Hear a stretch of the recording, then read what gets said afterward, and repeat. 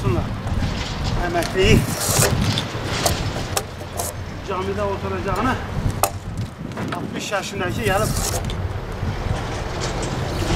ağaç veriyor.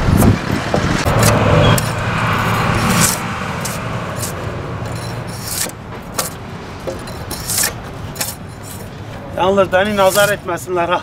Şuna bakın.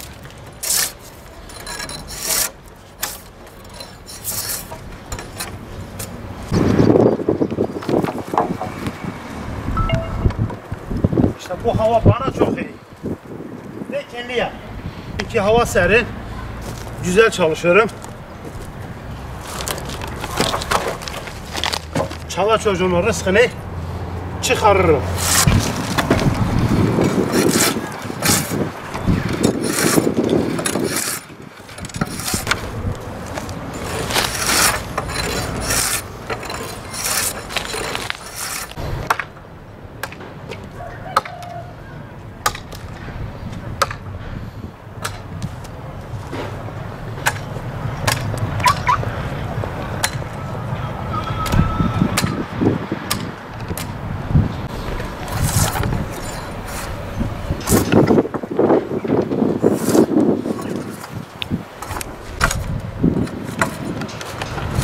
Gel babamın oğlu gel. Babamın torunu gel. Oh, oh, oh, oh, oh.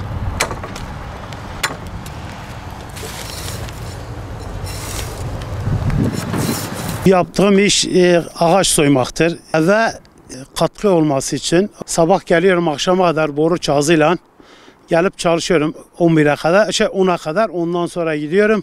Akşam 4'ten sonra geliyorum. Bu iş yani mecbur kalmışım çalışıyorum. Emekliyim. Ondan sonra yani emekliliğin hali işte görünüyor. Bu ağaç köylerden kesilip geliyor buraya. Biz soyuyoruz. Ondan sonra hazırlıyoruz.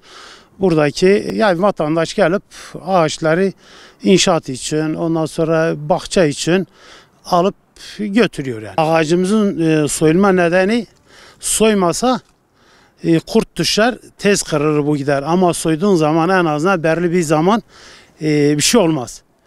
Bir de yerde yatırırsa bu ağacı tez çürür gider. Ama dik olduğun zaman belirli birkaç sene bir şey olmaz. Kabak ağacının kabığını e, biz eskiden götürüp yakıyorduk ama şu anda e, doğal gaz gelmiş artık böyle ortada çürüp gider.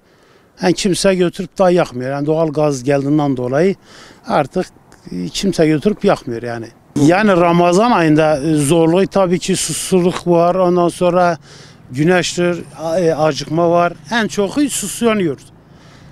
Ama akşam gittiğin zaman pert. Yani artık kalkamıyorsun. Ramazan ayı bize her şeyi hatırlatıyor. Fakir fukarayı, ondan sonra yoksulluğu, ondan sonra aç kalanları, dışarıda, caddede kalanların hepsini hatırlatıyor. Ama ibadettir, taattır, her şey, her şeyi hatırlatıyor. Tabii ki her şeyden önce ibadettir. Ama aç kalanları, açlığı, susuzluğu her şeyi bize hatırlatıyor.